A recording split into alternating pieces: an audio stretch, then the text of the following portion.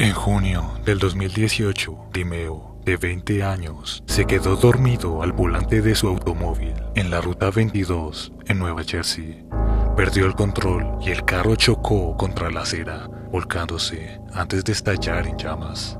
Un transeúnte lo sacó del automóvil antes de que éste explotara, pero aún así, Dimeo sufrió quemaduras de tercer grado en casi el 80% de su cuerpo. El daño fue tan severo que aunque Dimeo sobrevivió, se quedó sin párpados, sin orejas y sin gran parte de sus dedos. También tenía graves cicatrices en la cara y el cuello que limitaban su rango de movimiento. Las cicatrices incluso cubrían parcialmente sus ojos. El miércoles, los médicos del Centro Médico Langón de la Universidad de Nueva York anunciaron que tras 23 agotadoras horas de cirugía, Timeo, ahora de 22 años, está en camino de recuperar su vida como receptor del primer trasplante de rostro y manos con éxito del mundo. Es el paciente más motivado que he conocido, dijo a los periodistas el doctor Eduardo Rodríguez jefe del equipo que completó la cirugía sin precedentes, en una conferencia de prensa el miércoles.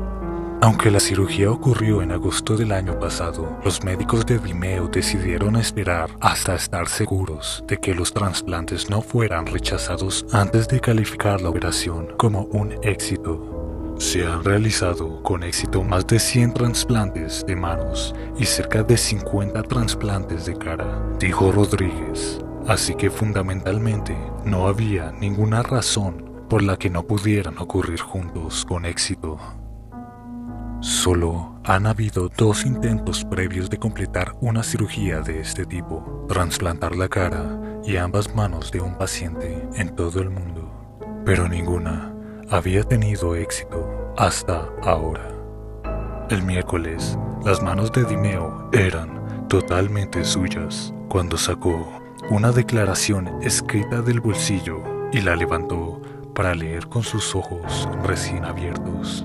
Quiero compartir mi historia para dar esperanza a la gente en el mundo, dijo. Me gustaría reconocer el altruismo de mi donante, ya que nada de esto sería posible sin su sacrificio. Gracias, dijo Dimeo.